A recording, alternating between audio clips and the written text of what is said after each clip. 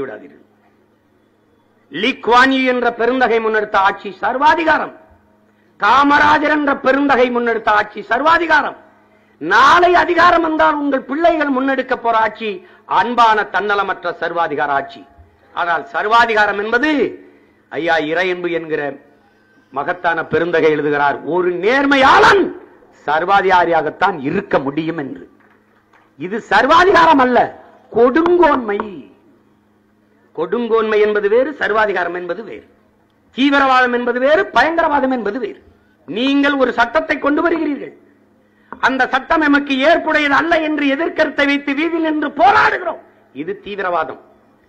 போராடுகிற மக்களை சுட்டு வீழ்த்தி அடித்து ஒழித்து அழிப்பதற்கு அதுதான் பயங்கரவாதம். இது ரெண்டுக்கும் இருக்கிற வேறுபாடை புரிந்து கொள்ள வேண்டும். என் கருத்தை ஆவேசத்தோடு தீவிரமாக எடுத்து வைக்கிறேன் இது தீவிரவாதம். என் கருத்துக்கு எதிர்கருத்து சொல்ல வக்கத்தை நீங்கள் தூர நின்று துப்பாக்கியால் என்னை சுட்டு வீழ்த்தினால் அதற்கு பேர் தான் பயங்கரவாதம். இது ரெண்டையும் போட்டு குழப்பிக்க கூடாது. என் மக்களுக்கு இன்னும் குழப்பம் இருக்கு. நேஷனாலிட்டிக்கும் சிட்டிசன்ஷிப்புக்கும் நாம் தமிழர்கள் அது நம் நேஷனாலிட்டி இந்திய நாட்டின் குடிமக்கள் இது சிட்டிசன்ஷிப் இது என் நாடு. இது தமிழ் தேசிய குடியரசு. இங்கு எவனுக்கும் குடியுரிமை சான்றிதழ் கொடுக்க வேண்டிய தேவை கிடையாது. யாருக்கும் கொடுக்க வேண்டிய தேவையில்லை.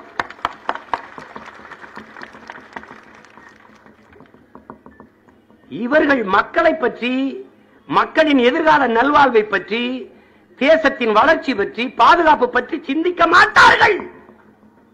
அவர்களுக்கு தெரியாது. எத்தனையோ கருத்துக்களில் நாம் முரண்படுகிறோம் ஐயா சுப்பிரமணிய சாமியோடு. ஆனால் அவருடைய கருத்துக்களில் இதில் நாம் உடன்படுகிறேன். அவர் சொல்றாரு இவன் எவனுக்குமே பொருளாதாரம்னா என்னன்னு தெரியாது. இருபத்தி ஒன்னாம் நூற்றாண்டில் எடுத்த முடிவுகளில் மிக கொடு- மோசமான முடிவு ஜிஎஸ்டி தான். அவர் சொல்றாரு உங்களுக்கு தெரியுமா அன்பிற்குரிய மக்களே? பாகிஸ்தானுக்கு உளவு பார்த்தவர்கள் உளவாளிகளில் பதிமூன்று பேர் கைது செய்யப்பட்டிருக்கிறார்கள். அதில் ஒருவன் கூட இஸ்லாமியன் இல்லை என்பதை அறிவிற் சிறந்த பெருமக்கள் புரிந்து கொள்ள வேண்டும். இந்த நாடு எவ்வளவு சகிப்புத்தன்மை வேற்றுமையில் ஒற்றுமை சகோதரத்துவம் இதையெல்லாம் தத்துவமாய் வைத்தார்கள். ஆனால் சகித்துக் கொள்வதற்கு ஒரு அளவில்லையா? காஷ்மீர் முதல்ல இந்தியாவா?